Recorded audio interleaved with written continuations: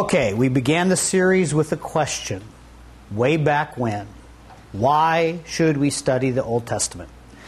And we said that it was the revelation of God's redemptive work through Jesus Christ. That's why. It is, it is a picture, all this Old Testament stuff, this old stuff before Jesus came, is a picture and a revealing of what God is doing. To bring Jesus here and to have that final place in heaven at the end. And when we keep this in mind, it grants, it gives us the ability to respond to Him and His work properly. We understand when ha- things happen in our life, we understand that it's God's work. God's still in control. He still has a plan that He's working out. There is an end to this plan, it has never changed. So we know how to better react and respond to Him given that. Uh, that understanding. It also helps us uh, to respond to the world better. So we look at the world, we look at politics, we look at America, we see what happens, we see the hard things that people do to one another in this world, and we understand it fits in God's plan. God's not confused by it. And we are better able and more effect- effective at encouraging one another because we understand God has a plan and we understand God as He reveals Himself in the Old Testament. Have you ever been able to open up the Psalms and read the Psalms during some hard time and it helps? Yeah? I think the older we get, the more we shake our head, yes, I've, I've been there. Right? When we need wisdom, we open up our Proverbs and we look through Proverbs and we see God's truth. How about God's faithfulness? Do we see God's faithfulness in the Old Testament through the stories and the letters in the Old Testament? Yeah, we do. We see God hasn't changed. He's still with his people. He's still doing what he said he was going to do. How about God's promises? Do we see God's prom is God's word is never changing by looking through the Old Testament? Yes? Of course we do. So if there's something that God has promised us today through the New Testament, is it any less, is he any less faithful to do a promise that he gave in the New Testament than he was in the Old Testament? He changes not. So the Old Testament helps us understand and respond to Him and His work and what He's doing. It helps us to, to respond to the world and the ugly things and the strange things that are happening in the world. It also helps us to encourage one another. I can come to you and I can give you something. Like today, we looked at Ruth, the opening chapter of Ruth. We have a lady in our Bible study class who has been hit by the world. She's in a hearing. She feels she's unjustly accused. It is, I mean, she could lose her job. I mean, just everything. Boom, boom, boom, boom, boom. And we went to Ruth and we looked at that first chapter with Naomi. There was a famine, pushed the family out. He lo- she lost her husband. She lost her sons. She's in a foreign country. She has nothing. And she says, God has dealt with me very bitterly. I know Naomi. I've lived Naomi. Amen, brother. Yeah? But do you know what? God moved the famine to get her out in the first place. God allowed her husband to go. God allowed her sons to go. Why? Because God needed Ruth back in Bethlehem to meet Boaz. Why? Because he promised back in Genesis chapter 3 that he would send a deliverer, and his name is Jesus. And if Ruth hadn't gotten back and gotten with Boaz, David would have never been born. If David's never born, then Jesus would never been born. So every single detail along the way, God is present there. I understand Naomi because I understand God. I understand better how it affects my life because I understand God. Does that make sense? Not quite uh, would you expound on how you understand God? It makes him almost your inferior. What do you mean by you understand God? Three years ago, nearly, I was dismissed, fired. No reason giving, given. I was making good money. We had just bought this house. I'm thinking, life is good. God is good. He's blessing us. Right? And I'm like, wait a minute. Fired? For what? What did I do wrong? Six months I'm having nightmares over this. I'm wrestling with the, the, the chief chairman of the tribe going, Why did you fire me? What did I do? How come you didn't warn me? You gave me no disciplinary action. You didn't write me up. You just walked in and said, We want your keys. Now my family's hurt. I have no money. We run out of everything. We could lose our house. God, what are you doing? That's Naomi. Well, now, look back at Naomi and go, every single thing God does for his purpose. He has an end. He has a goal. There is a strategy. It is everything detailed out bit by bit, bad and good. We can't just say God allows only the good things to happen. What good happened to Daniel?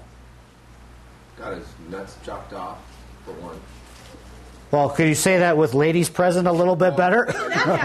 He's a eunuch. He was a eunuch, and so were the other three. That's yes, they made him, he was a young man. He was a 15, 20 years old, prince of, of Jerusalem of Israel. They he, the, his country was overtaken by Nebuchadnezzar, the Babylonians.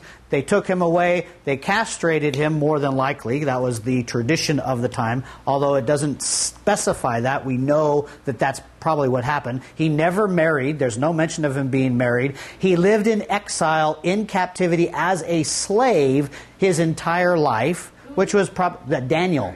Daniel in, Daniel in the lion's den. They castrated all the boys Shadrach, Meshach, Abednego, all them. When they pulled them out, they would castrate them. Pulled them out of their homeland. Nebuchadnezzar was a Babylonian, not a Jew. When he came in, he conquered everything and took some of the elite people to serve in his court. So they castrated them and made them eunuchs, basically. They became eunuchs. Servants were usually eunuchs like that. So here's Daniel. It's at the end of the 70 years. Now, mind you, he was in captivity at least 70 years because we know that God said that it was 70 years that they would, that Israel would be in captivity, that they would be enslaved. So he is serving his whole time as a slave the entire time, no family, and at the end of the 70 years, he gets he knows that the 70 years is coming up jeremiah prophesied to be 70 years. He knew jeremiah. He's praying every day. God bring us back bring us back bring us back bring us back bring us back. He never went back. Did god's purpose fail somehow?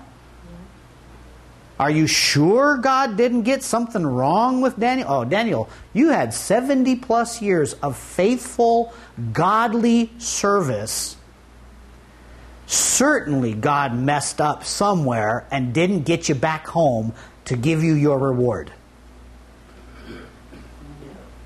Are you sure? No. God doesn't make mistakes. If God doesn't make mistakes and God is in control and God put Daniel in Babylon, then understand this principle not all discomfort is bad. That's rough. That's a hard one. Because when God sends you a check for $2,000 in the mail that you don't expect, hallelujah, thank you, Jesus. But when God says, I don't need you in that job anymore, you're going to get fired. I'm going to move you for three, three years. You're going to be unemployed, and you're just going to learn how to have faith in me. We go, Where's God? That's. That's what we see. That's what we typically get. But part of that is because we're not looking at this time, just like we don't look at the Old Testament very often, from the standpoint of God's perspective, the highest perspective. We look at it from the me perspective, the hero, the Daniel. What can I learn from Daniel? Well, I can learn that I can go over and walk really good with God. I have to be righteous. I have to do this. I have to do that. And I can get a really good moral lesson out of Daniel. Is it about a moral lesson out of Daniel? No. It's about a God who has a plan with a king. His name is Jesus. He's going to He's put Jesus on the throne. He's pulling together a people who he is going to make holy, blameless, perfect, and eligible to become the gift to his son, the king, as his bride. That's God's purpose. Well, was that happening in Daniel's time? Yes. You just have to look at it from that perspective and look, go through. Oh, okay, now I understand a little bit better. That's why I say I understand Naomi better now. You said you understood God. Yes, I understand God from the standpoint of I know that no matter what happens in my life, that it has to still fit in God's overall plan. You see him through a veil, maybe? Through a veil, very good. Yes. So if I find myself in hardship, or if I look in the Old Testament and I find something that just does not make sense, it's like so out of place. Why would God put that there? It is there specifically to reveal God's work and God's character. And if I go to the Old Testament with that perspective, with that in mind, it will all fit better. Remember, we started the, the why should we read the Old Testament? There was this New Testament doesn't fit with Old Testament. There's so many things that clash and seem to contradict one another. It's because we're looking at it from me perspective, the lowest perspective, from the God's person, God's hero perspective, rather than looking at it from, well, God's got a plan. I don't know every detail of that plan, but I know where it's going. And if I know where it's going and I'm in that plan, I don't have to worry about now. I know that even now God's got it covered. So, we looked at that. And I don't want to go into too much more detail. This is what we what I said we would use. It's in your it's in the handout, this one here. So I have one that's all covered. Looks like this. Did you get one, Esther? Okay. Huh? Okay. Well, we don't have to worry about it right now. Basically, what we're looking at is I want to show you that God's plan is consistent. He hasn't changed the plan. The plan is the same. What has happened or developed as the plan has worked its way out has created different things. So, for instance, in the beginning, we looked at Genesis 1 and 2, creation. What about God's people? God created a people and said He blessed them, gave them rulership. There was perfect fellowship between God and man, man and woman, man and other man, and man and the environment. He ruled it. There was no problem with animals. You didn't have to worry about walking up to a lion and, and hi, how you doing? Without being eaten. You didn't have to worry about that because a lion wouldn't eat you. That wasn't there at the time. So the environment, there was no weeds. Yay. Yeah, whoo. You didn't have to, you didn't have, you still had to work, but it was not hard work, harsh work, sweaty work. And God's image was in man. And it was, God said, multiply. Multiply. Be fruitful and multiply. My purpose, my desire is that you take my image, the image that I've put within you, and multiply and re- reproduce that image in many, many, many, many, many, many, many people forever and ever and ever and never die. That was the, the spoken intent. However, in Genesis chapter 3, we had the fall. Eve was tempted. Adam listened to his wife. The fault falls on Adam, not on Eve, according to the New Testament. And so we have not just God's blessing on people, but we now have judgment entering the world. What happened the minute you ate the fruit? You shall surely die. die. What is death? It's judgment on your sin. You've done something wrong, you've disobeyed. The punishment is death. That's judgment. So now, through Adam and Eve, you have both blessing and judgment. And that's the way it's going to be for the rest of the time, all the way to the point of the cross. Without that need for salvation and grace and redemption, as well as judgment and punishment for sin, you wouldn't have the cross. And what happened to the fellowship? No mas? What do you mean, no mas? What does that mean, no mas? Um, in red, it says it's broken. It was broken. Well, I mean, you can think of what that means. Do you have perf- Are you walking in the garden in the cool of the day with God, God Almighty God? You step Do you have, if you were to be in God's presence, would you have no shame, no fear, no guilt? No. The relationship is broken. I can't, I don't have fellowship with God like Adam had fellowship with God before the fall. It's broken. It needs to be fixed. Something has to repair it. So God's image that He put within us is now marred or scarred. And we're just going to stay in this last one through Noah for uh, at least today. But I want, to, I want you to keep in mind this bottom line that we have blessing and judgment now, that the fellowship is broken, and that the image that God has put within man is, is uh, marred and scarred by sin. Okay? With that said, turn to Genesis chapter 5, please. It's at the very front of your Bible. It's the first book. All right. Remember that we said if we're going to look at the Old Testament, the stories in the Old Testament, et cetera, et cetera, we're going to look at it from the standpoint of this is God's revelation of God's redeeming work. So anytime we read a story, anytime we read a passage, the first thing that should pop in our mind is that there's a question.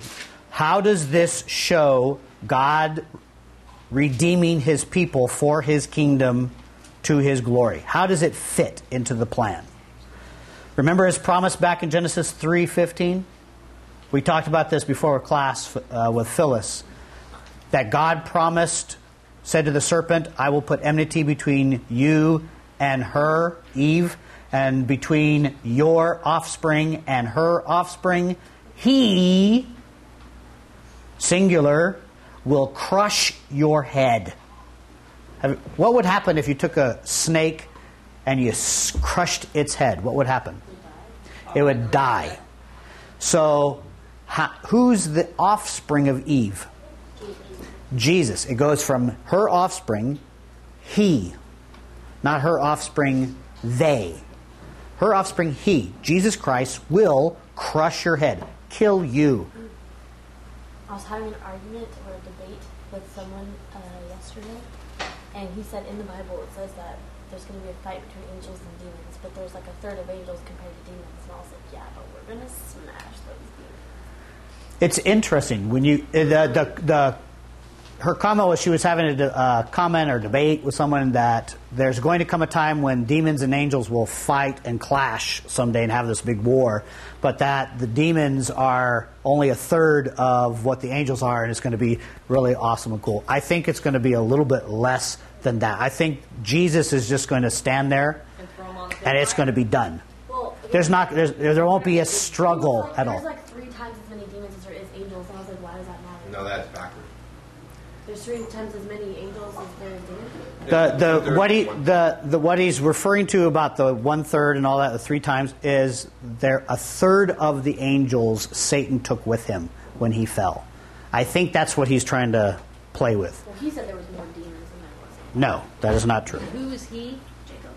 Jacob. Jacob. Oh, Okay. I was getting on until I'm That's like, his hey, Well, let's let's let's let's get back. So the idea being is that uh, God made a promise to bring a deliverer.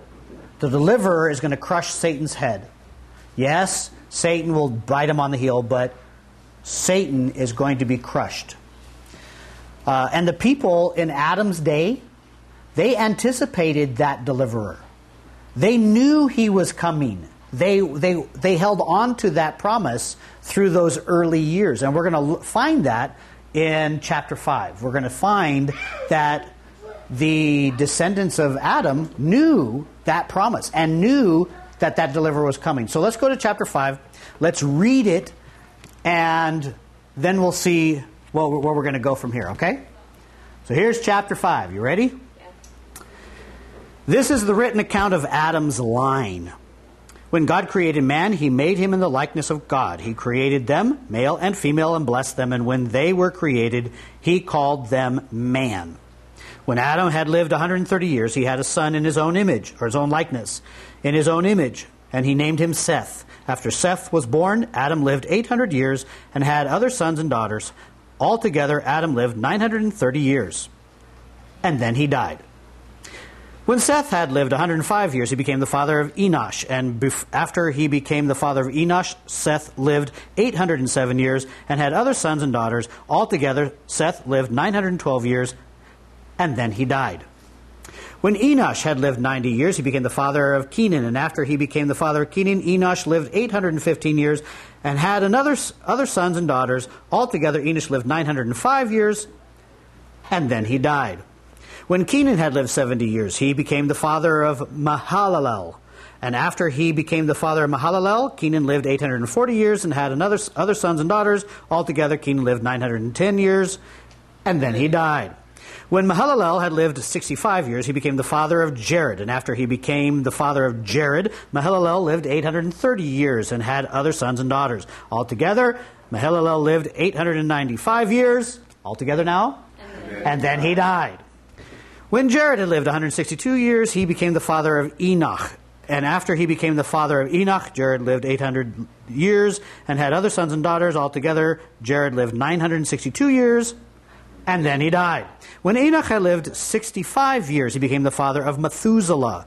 And after he became the father of Methuselah, Enoch walked with God 300 years and had other sons and daughters. Altogether, Enoch lived 365 years. Wow. He didn't die. Enoch walked with God, then he was no more because God took him away. Did he make him an angel?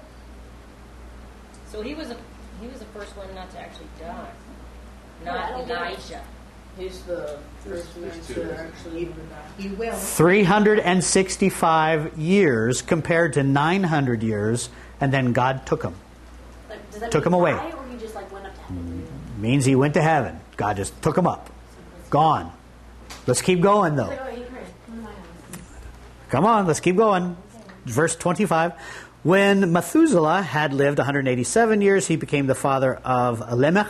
And after he became the father of Lamech, Methuselah lived 782 years and had other sons and daughters. Altogether, Methuselah lived 969 years, and then he died.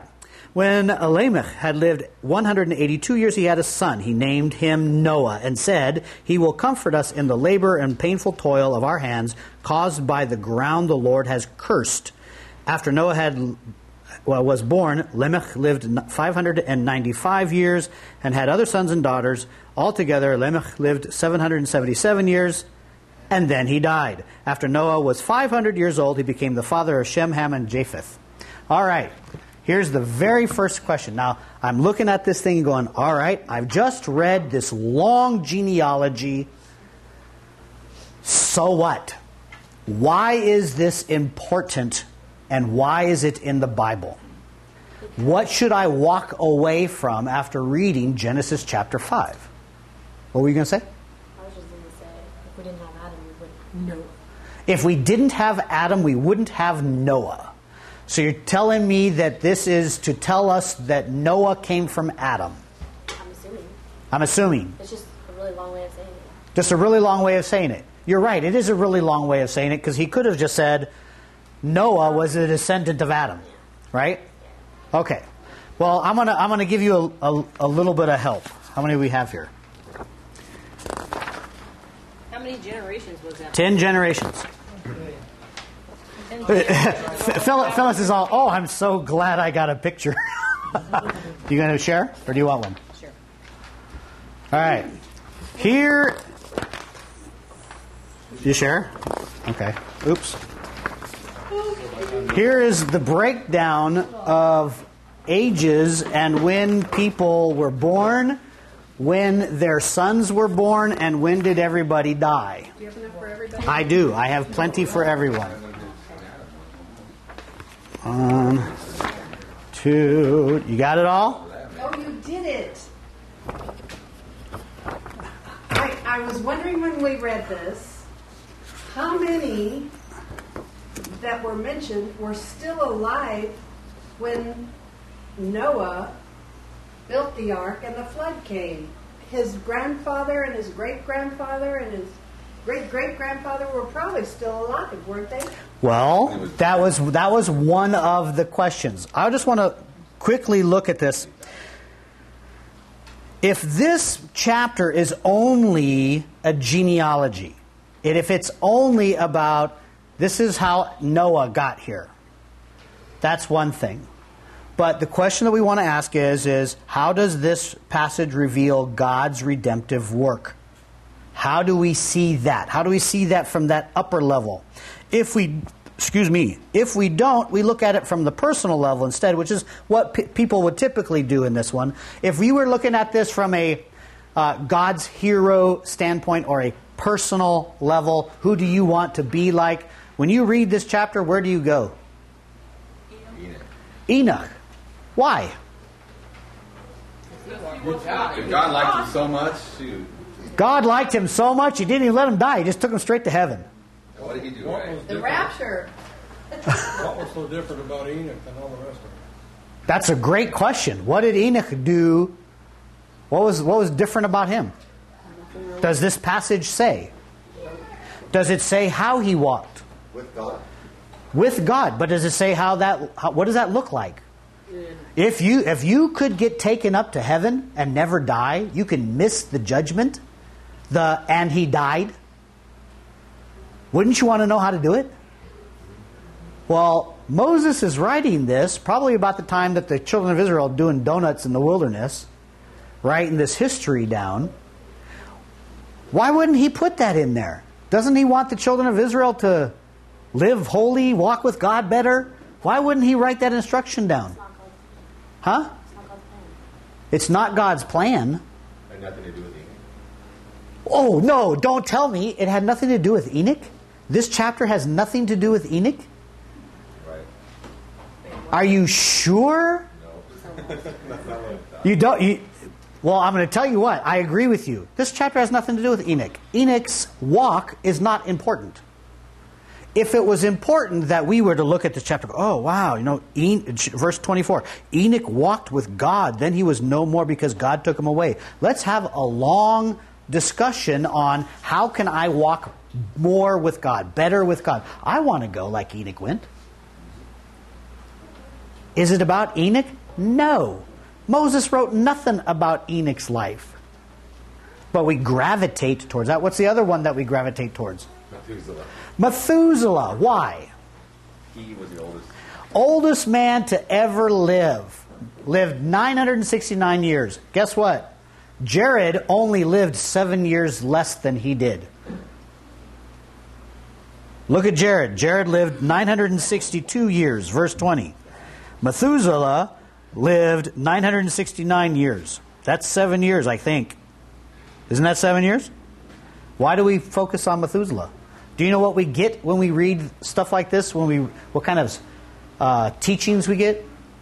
Well, before the flood, there was this great canopy over the earth that prevented the ozone from coming in, and that's why people lived so long, and they had the nutrients in the ground, and you get this big creationalism sermon. Is that why Noah or Moses wrote this particular passage? Let me rephrase that. Is that why the Holy Spirit led Moses to write this particular passage? So had nothing to do with science. Has nothing to do with Methuselah either. Well, what does it have to do? Well, pull yourself back. Go all the way up to the top. It's about sounds to me like it was they let them live so long to uh, populate the earth. Because that was the whole thing. Well, let's let, just I'll, let's just do a quick, quick little look. Look at this right here. Look at this right here. When I was little, my grandfather could sing. Grandpa Ed. Beautiful tenor voice. I wanted to be like Grandpa. Grandpa lived how long? About 80? 70, 80? Less, yeah. Okay, let's say let's say let's say 60 of those years he learned the craft of singing. 60 years. In 60 years, I had a little bit of time with him.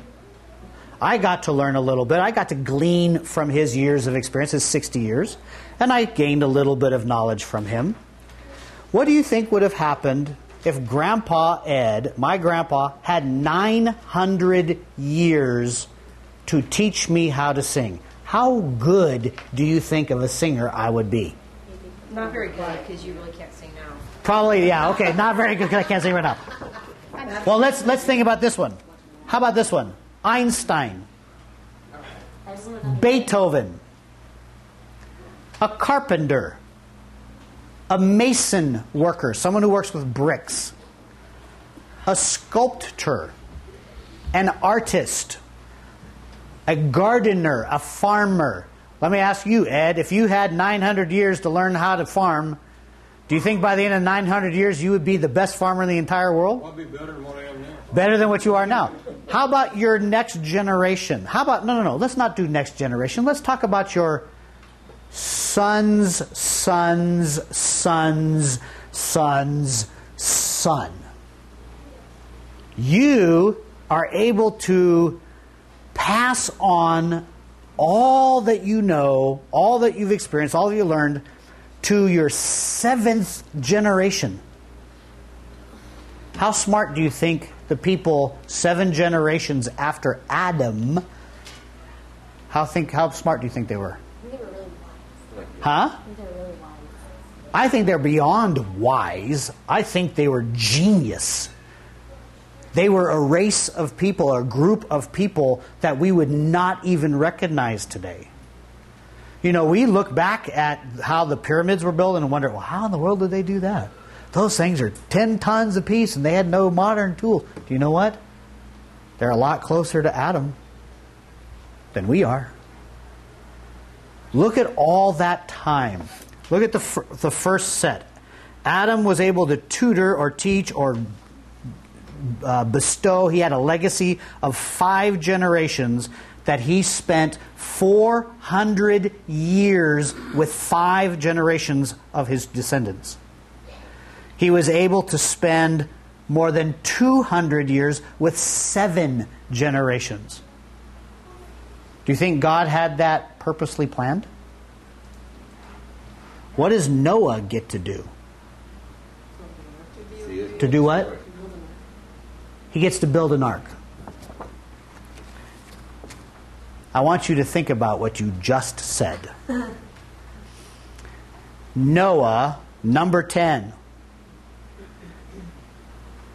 He's not a primitive caveman with stones that he's chiseled on the end of a little tomahawk. This man has been tutored by hundreds of years of information and science and knowledge and God history. And God says, build an ocean liner. It has to house 72,000 animals Including dinosaurs. for one, for over a year. Dinosaurs died. For over a year. It's to have three floors 45 feet high, 75 feet wide, 450 feet long. Oh, by the way, you get to make it out of wood. And that comes from trees which have to be cut and s- sawed and smoothed Shaped and yes, pitched and patched and How many years? architect. Mind you, there's nothing, there's no description here. He may have been given specifics as far as how many stalls, how wide, how tall. I mean, think about it. You're going to put a giraffe in in this ark. Actually, it was probably seven. An, huh? Because it's not two by two. That's the, was two bedrooms. I know, but you got to you got to read the story. there were some that were two by two, and some were not. Anyway, Think about what, ha- what Noah had to possess in his mind to be able to create an ark that would float through the greatest cataclysmic event that has ever happened. The whole earth is covered and erupts with water. Land is torn apart, and he has this boat with all these animals, all these birds, every little I mean not to mention how do you even how do you even take care of a roach or an ant? A Or- university degree must have taken two, three, four hundred years. Something. But the man must have been brilliant to be able to do this. I try to go. I try to make a box. Just make a box. I just want to put a box on it, and and I need him to come by and, and you know, here's the angle and here's this, and you got to do this. I'm like, you got to be kidding me! And you're going to make an ark? What's up? Can I play the devil's advocate? Sure. If, if Adam taught all these people and they were so smart and everything, how come they kept screwing up? How come, how come he had to build an ark in the first place? That's a very good, good question, which is also part of what this this genealogy tells us.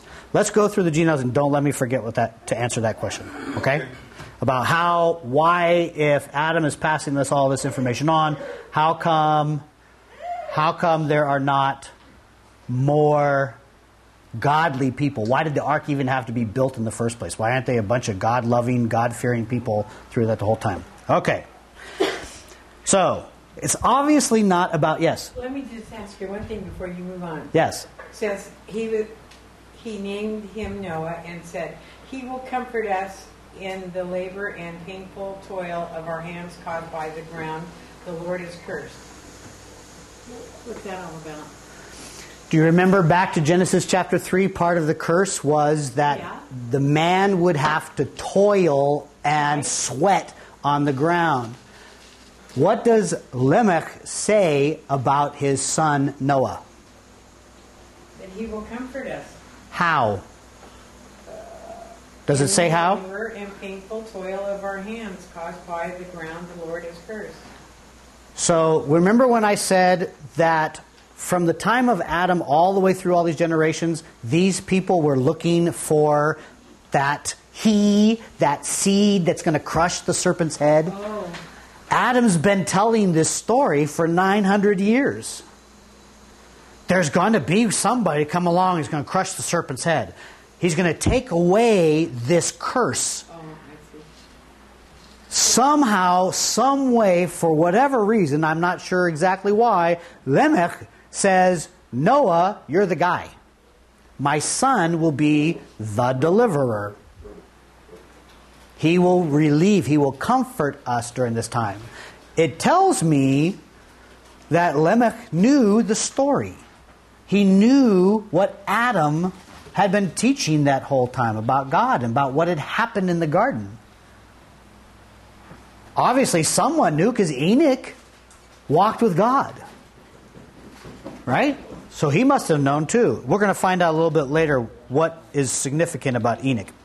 So here we go. Highest perspective. What does this passage reveal to us about God redemptive God's redemptive work? Here's number 1. It reveals God's commitment to his promise. Genesis chapter 3, God said, I will send one. There will be. I will put enmity and I will send someone to crush your head. That promise is given. It has to end up in Jesus. So, what we see is through this particular generation, mind you, how many other sons and daughters did all these people have? Lots. Let's go back to your question. How many of them got on the ark? Not very many. All we know is two. The wives of, uh, or the three, the wives of Ham, Shem, and Japheth, Noah's sons. We don't even know where they came from. But that's it. We got eight people get on the on the boat, on the ark. Hmm. That's pretty strange to me. But God says, Adam, I made you a promise. Seth, you're the next one. Enosh, you're the next one. Who's the next one after that? Keenan. En- Kenan, you're next. Jared, you're next. Uh-huh. Or Ma- Ma- Mahalalel, you're next. Jared, you're next. Enoch, you're next. Methuselah, you're next. Lamech, you're next. Noah, you're my man. God is in every single one of those people as far as picking them and making sure that his promise is true. I gave you my word, my promise, it's going to happen. I will ensure that it happens. Despite what we know about these people, these people don't, we don't even know that Methuselah was all that great.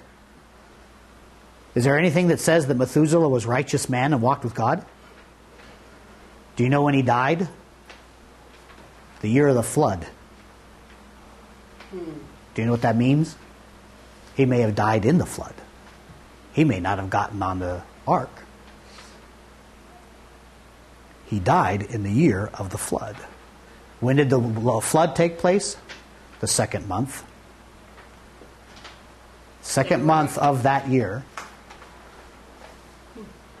Lamech, Lamech died five years before the flood.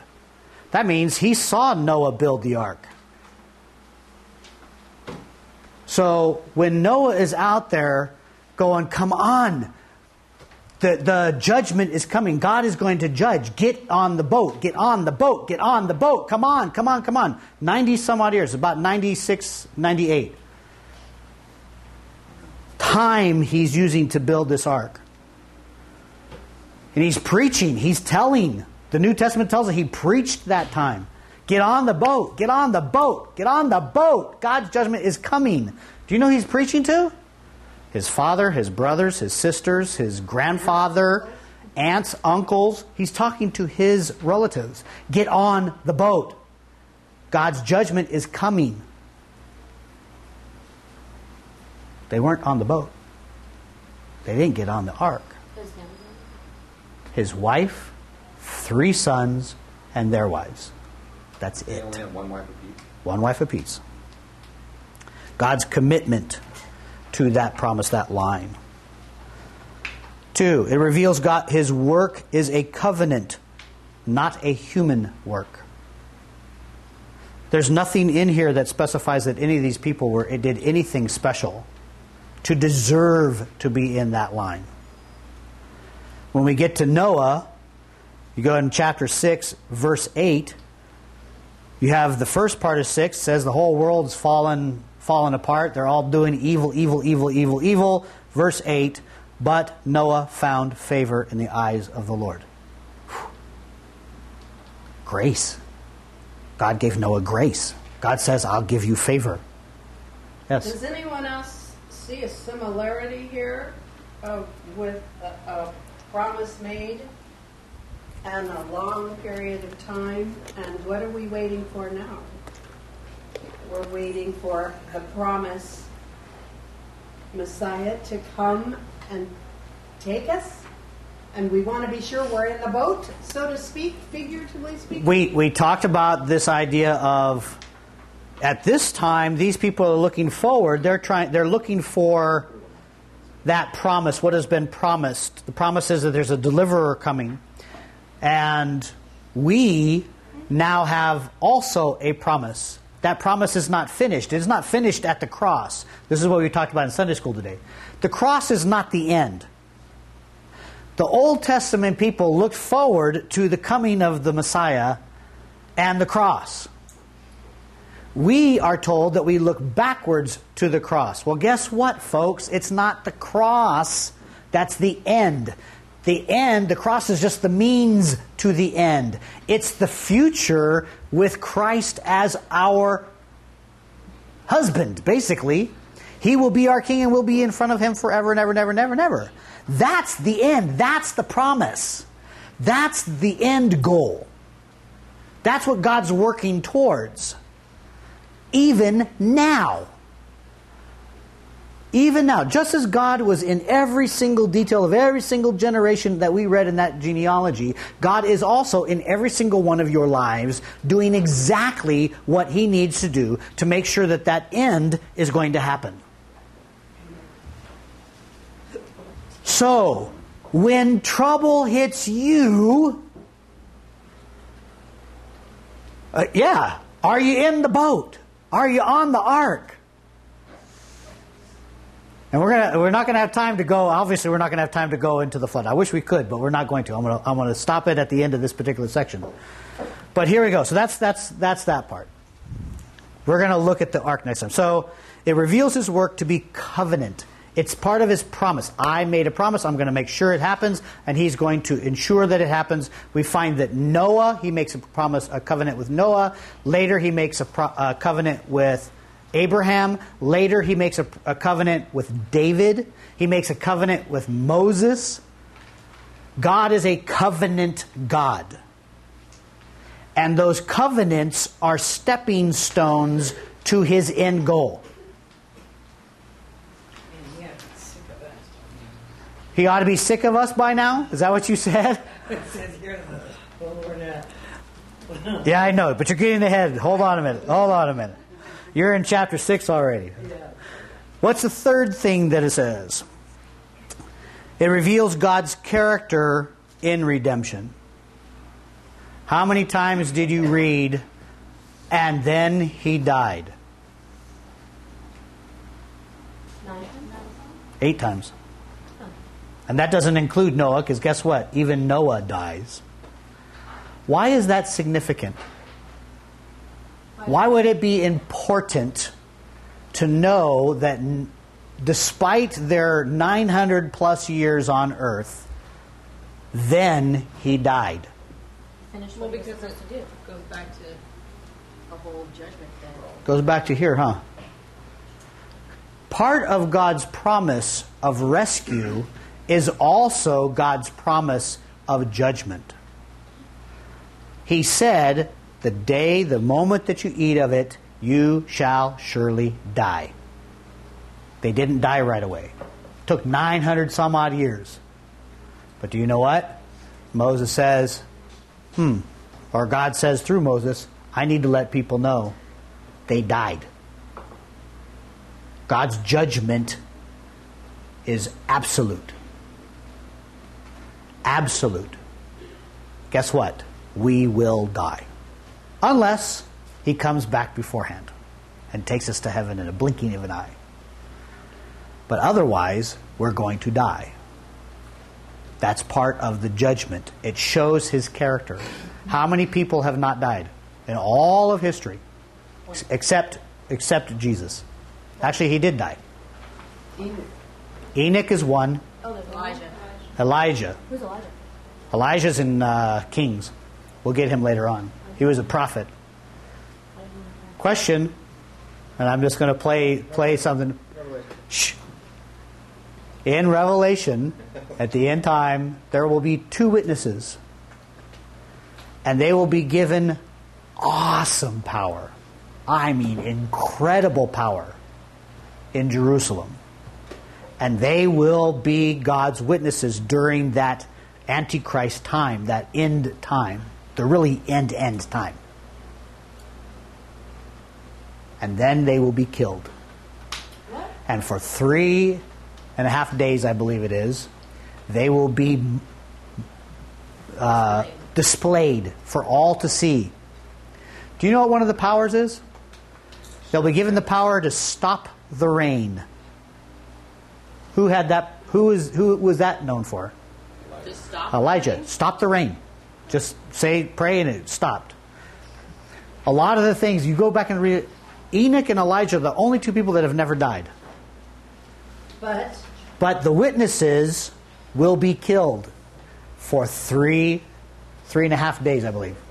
And at the end of three and a half days, God will breathe life back into them and they will stand up and He will take them immediately into heaven.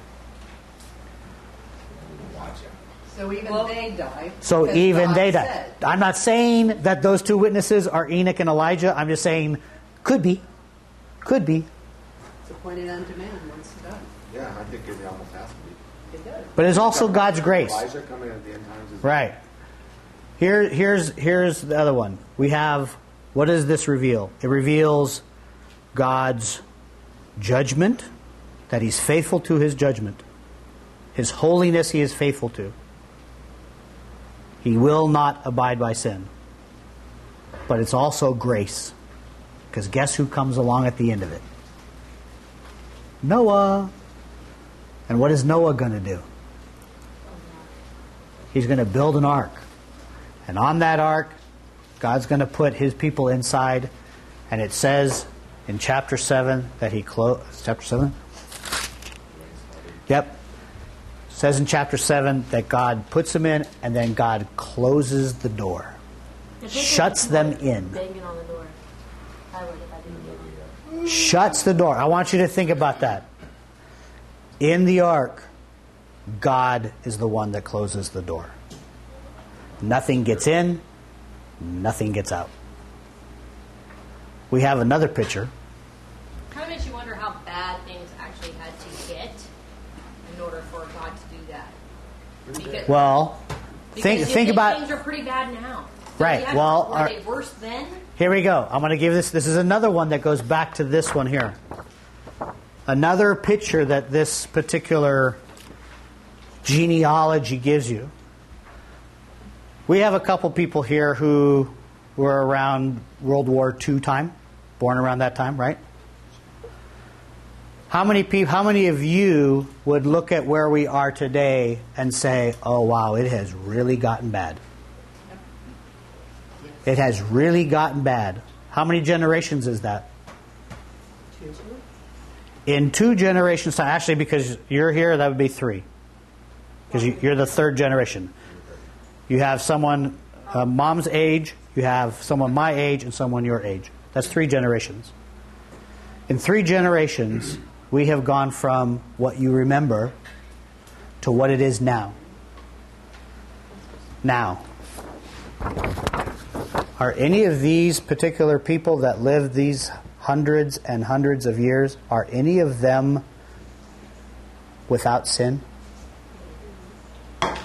Imagine what our generations, the three that are in here right now, imagine what type of evil this world would be in if we were all allowed 200, 300 years to let whatever we did in the last three generations go longer and longer and longer and longer. Can you imagine how wicked sin, how corrupt sin, after all those years? Not Hitler. No. 800 years. I think Hitler would have been nothing compared to what was going on back then.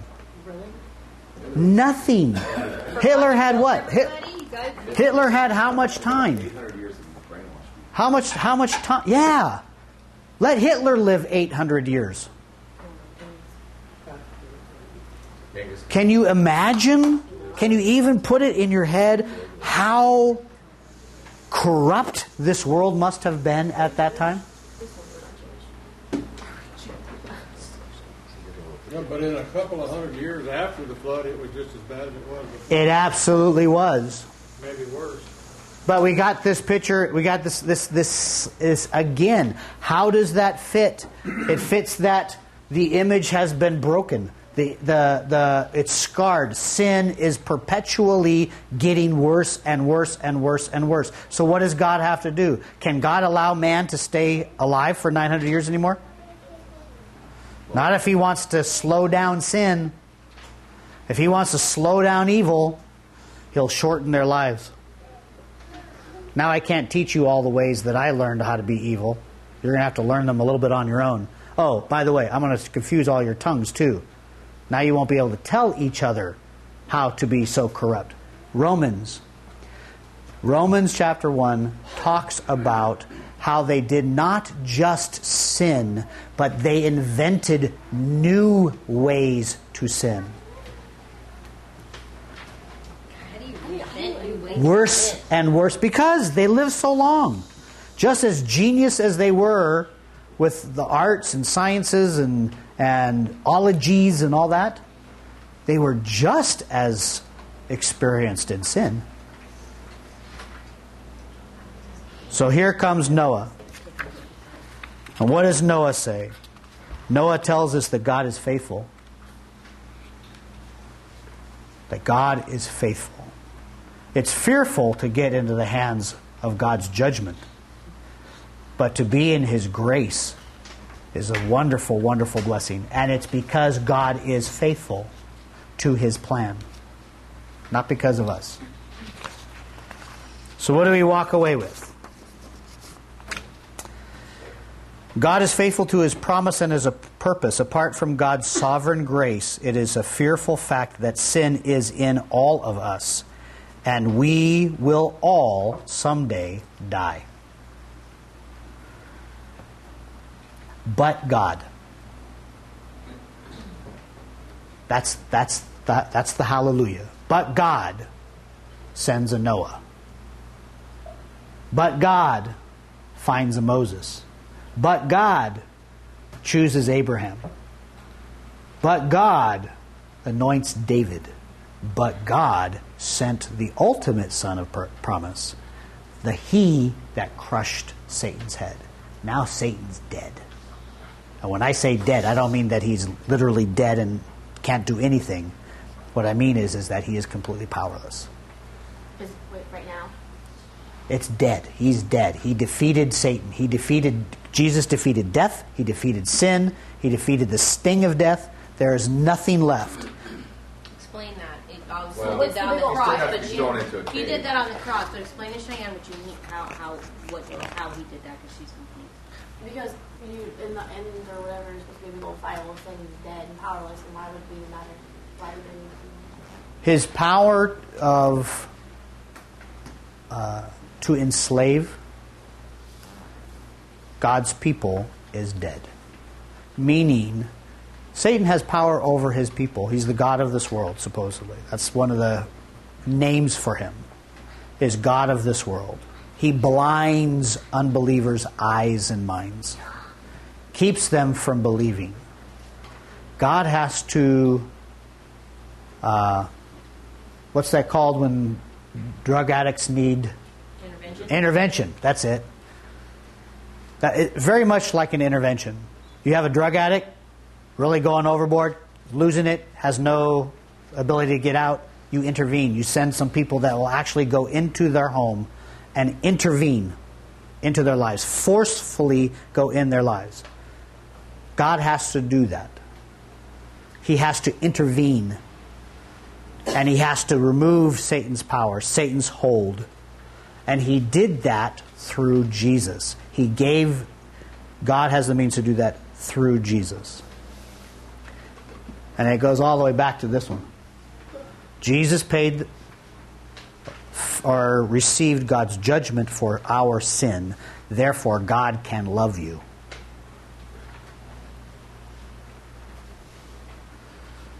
We'll go more into it when we go into the ark and things like that. Okay? So, God is faithful. Phyllis, God is faithful. Despite what you might see, despite what we might go through, God is faithful. Why? Because He has a plan. And there is no man, no woman, no force anywhere ever that can change God's plan.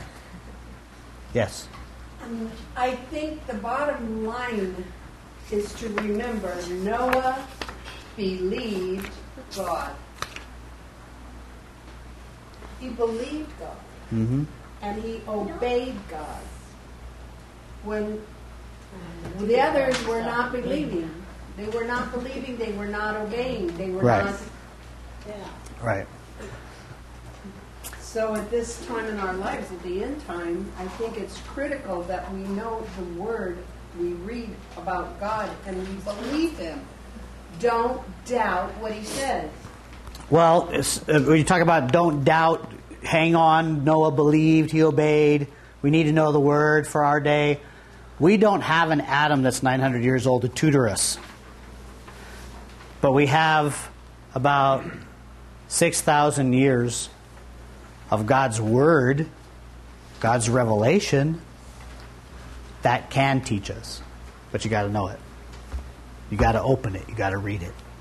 You got to find it, and that's why I want to. Why this this idea of perspective I think is so important, because if we don't have the right perspective, we will miss God's plan. We will miss God's purpose.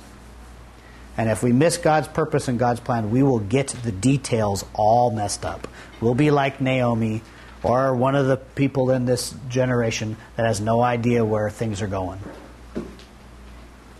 But we can hang on to a faithful God. Questions? Let's pray.